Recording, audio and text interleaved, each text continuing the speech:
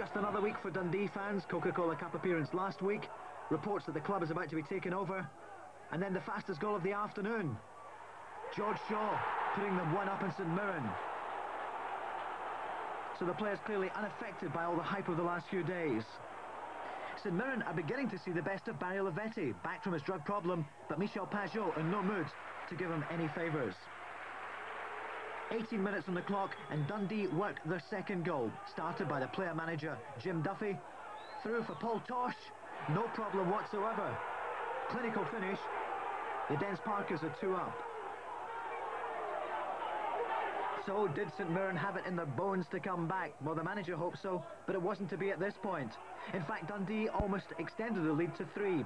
Duffy, then McQueen, long ball forward. Saints stood there thinking it was offside. Tosh wasn't, but only that timely tackle saved St Mirren. Really, all in all, it was Dundee's day. Morten Wieghorst here with a tremendous effort. The Danish international just beaten by the post.